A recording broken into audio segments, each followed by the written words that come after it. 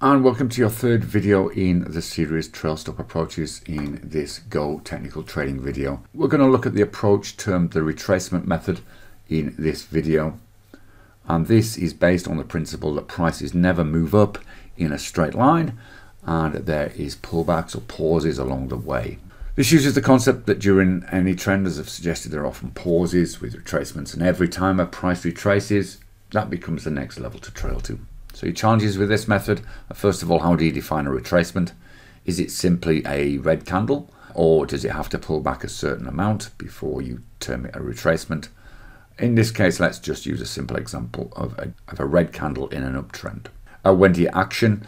And what we would do, in this case, the example I, am going to show you, would be as soon as there is a next green candle, we take it up to the bottom of the retracement candle. And the third challenge is where do you place the trail? So for example, the pivot low of the retracement.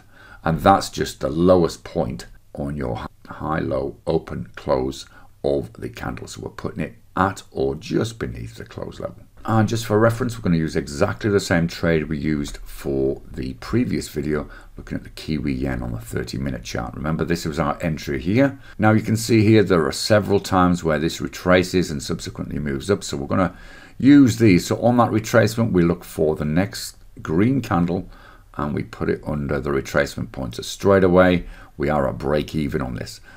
Also here, we see that there is a retracement and then a green candle at this stage. And so we're moving it below that level there. And of course, that is subsequently triggered on the third next candle at around about 83.70. So locking in around about 43 pips. Trade safe and we'll see you again soon. Bye bye for now.